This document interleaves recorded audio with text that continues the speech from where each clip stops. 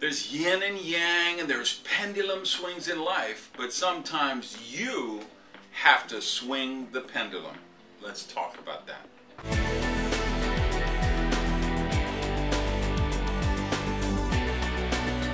Hey everybody, Randy Gage here. I want to welcome you to another episode of Prosperity TV, coming to you from a gorgeous, beautiful day in Florida, South Beach from my home.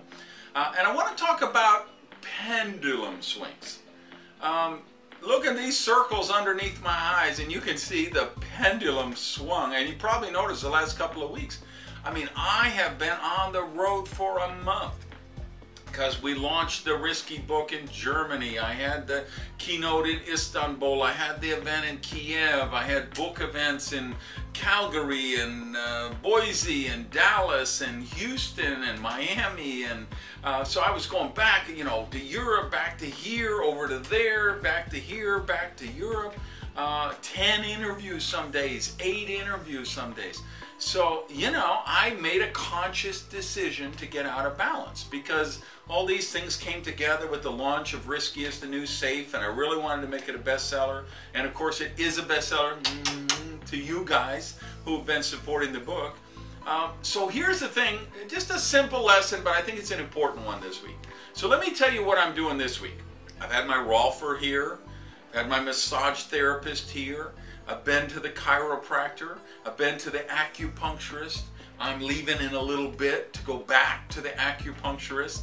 So what I'm doing, I'm eating mega doses of all my nutritional supplement to really, you know, make sure I'm getting and eating really uh, smart, making sure I'm getting enough sleep, making sure I'm getting some exercise every day.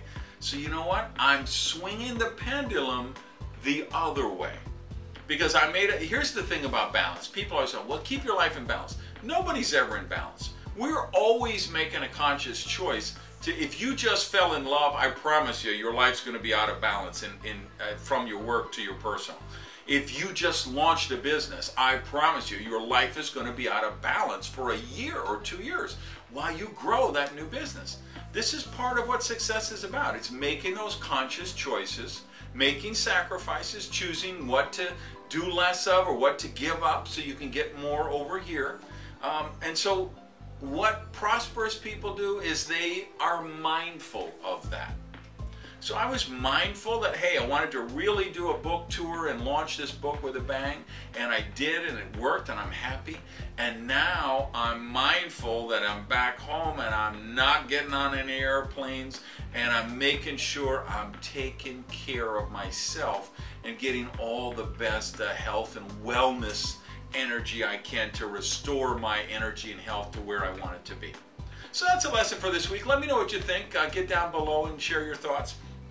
As always, please uh, tell everybody you know about Prosperity TV because this is a message we got to get out. Until next week, love you guys, peace, and live rich.